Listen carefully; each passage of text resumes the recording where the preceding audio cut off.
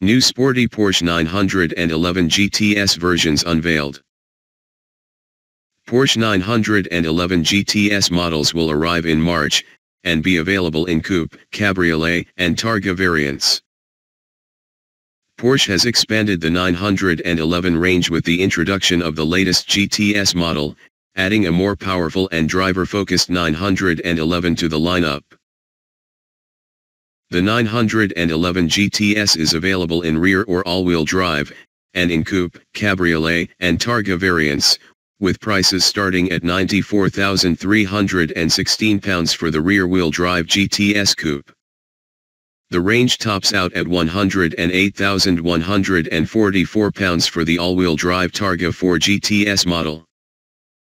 It's powered by an uprated version of the same 3.0-liter flat-six engine in the standard 911, meaning the GTS is also now turbocharged.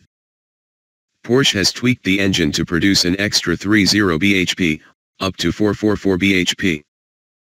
That's 20 bhp more than the previous naturally aspirated GTS model. There's a choice of gearboxes, with a 7-speed manual or PDK dual-clutch gearbox both available. Porsche Active Suspension Management, PASM, is standard, with the car being lowered by 10 mm, and a further 10 mm on the GTS Coupe versions. The Sport Chrono Pack, adding dynamic engine mounts and a sports exhaust is also fitted. The fastest accelerating GTS in the range is the 911 Carrera 4 GTS fitted with the PDK Auto, 0 to 62 miles per hour is a claimed 3.6 seconds. Porsche also says this model is the most efficient, too, returning economy of 34 mpg and 188 g/km of CO2. All cars use the wider 1852 mm chassis from the AWD variants, giving even the RWD cars a sportier stance, while a new front bumper design and bigger rear spoiler feature as well.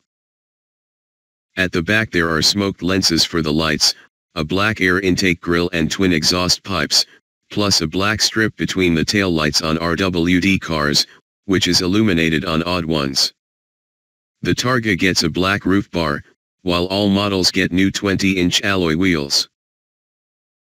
Inside, GTS models get Alcantara seats with GTS logos, aluminium trim and a stopwatch on the dash. There's also an updated version of the Porsche Track Precision app, letting you display driving data on your smartphone.